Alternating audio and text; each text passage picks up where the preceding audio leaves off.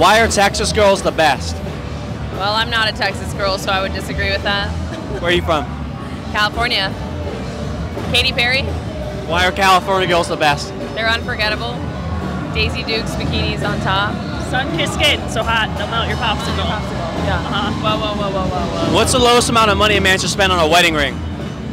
Uh, well, it doesn't matter because Love. It's love. It's love. It's about love. Yeah. Do you know how much your fiance spent on yours? No. That's, that's good. That's good, right? Yeah. Do you think you could pull me? What's that mean? Like, do you think you could bag me, take me home? I'm good. What if you were single? I'm a taller than you. You don't like the short guys? I don't mind a short king, but Am I a short king? I'm 5'11. No, you're not. But do you say that you're six foot tall on dating apps? Okay. You think I'm on dating apps? I don't know. I mean, if you ask if you if you could pull someone, then probably yeah. What are your thoughts on pegging? what is that? Pegging is where the girl wears a strap on and gives it to her guy. Oh, that's a no for me, dog. Dog. But uh, anyone can do what they want. You wouldn't do that if your husband wanted it? I don't think he would. But yeah, no, I'm not married either.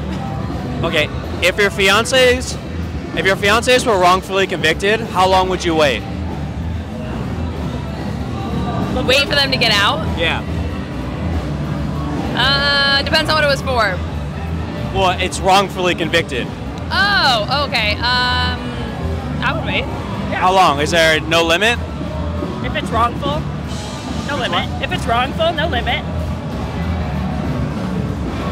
I think you guys would maybe wait five years and then call it quits.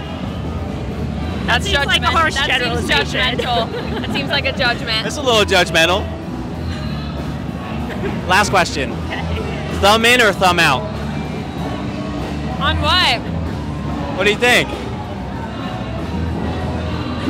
In the butt? Um, I don't do butt stuff.